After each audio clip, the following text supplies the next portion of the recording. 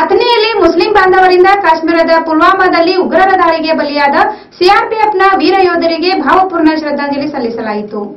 ಅಥಣಿಯಲ್ಲಿ Muslim ಸಮುದಾಯ ವತಿಯಿಂದ ಕಾಶ್ಮೀರದ ಪುಲ್ವಾಮಾದಲ್ಲಿ ಉಗ್ರರ ದಾಳಿಗೆ ಹುತಾತ್ಮರಾದ ಸಿಆರ್ಪಿಎಫ್ ವೀರ ಯೋಧರಿಗೆ ಭಾವಪೂರ್ಣ ಶ್ರದ್ಧಾಂಜಲಿ ಸಲ್ಲಿಸಲಾಯಿತು. ಫರೂಕಿ ಮಸೀದಿಯ ಉಸ್ಮಾನ್ ಖಾಜಿ ಮೌಲಾನಾ ಮಾತನಾಡಿ, ನಾವೆಲ್ಲ ಭಾರತೀಯರು. ಭಾರತದ ಪ್ರತಿ ಮುಸಲ್ಮಾನರು ಭಾರತೀಯ ಸೈನ್ಯದ ಜೊತೆಗಿದ್ದೇವೆ. ಈಗ ಪಾಕಿಸ್ತಾನಕ್ಕೆ ತಕ್ಕ ಪಾಠ ಕಲಿಸುವ ಕಾಲ ಬಂದಿದೆ. ಮೃತ ಯೋಧರ ಸಂಕಷ್ಟಕ್ಕೆ ನಾವು ಮಿಡಿಯುತ್ತೇವೆ.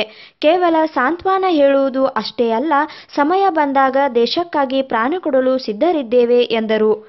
ಈ ಸಂದರ್ಭದಲ್ಲಿ ಅಥನಿಯಲ್ಲಿ ಮುಸ್ಲಿಂ ಸಮುದಾಯ ನಾಗರಿಕರು ಸಾವಿರಾರು ಸಂಖ್ಯೆಯಲ್ಲಿ ಉಪಸ್ಥಿತರಿದ್ದರು.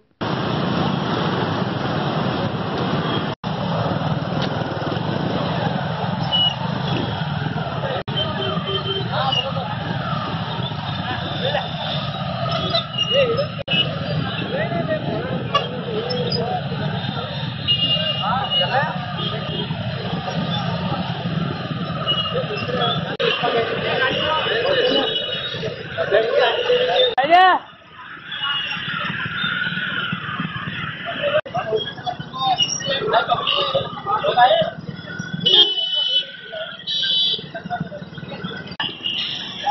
Vâng, một tay chân về.